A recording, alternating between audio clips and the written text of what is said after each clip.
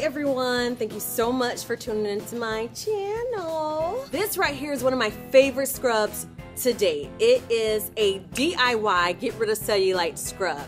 I'm pretty excited about this scrub because it is absolutely amazing. It has some great uh, ingredients inside and you can find them in your kitchen. You can't find them in your kitchen. You can definitely purchase them from your local grocery store. If you're interested in the ingredients, keep watching. Hey loves, so let's go over the ingredients, shall we?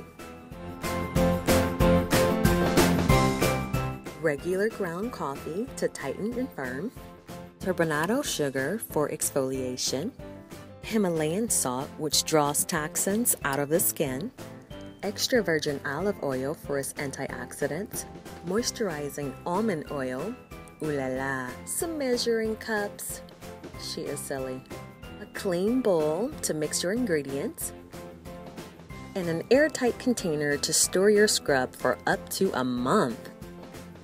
Coffee contains natural oils which softens the skin while exfoliating it.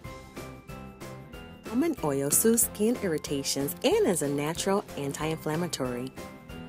Extra virgin olive oil protects the skin from harmful free radicals and helps to reduce the signs of aging. Pink Himalayan salt also balances moisture content. It relieves aches and pains, improves circulation, and may heal skin conditions such as eczema and psoriasis. Turbinado sugar will exfoliate and remove dead skin cells. Make sure you mix it well. I like to add a little bit more oil because it's cold and dry where I live right now.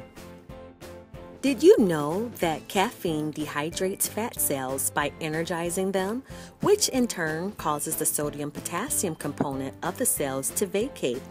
That's how we get no more cellulite out of the scrub. This wonderful free ingredient scrub was created by chef and lifestyle expert Yolanda Banks. This scrub will keep in a cool, dry place for about a month package it pretty. Do, do, do, do, do, do, do. Okay, so in order to use this scrub, just rub it in a circular motion all over your entire body, starting from the feet to head. This helps increase the lymphatic drainage.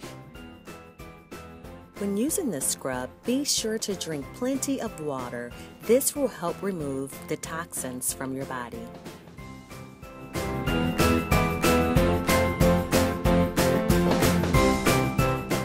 As you can see, when you're done using the scrub, your skin will be completely moisturized.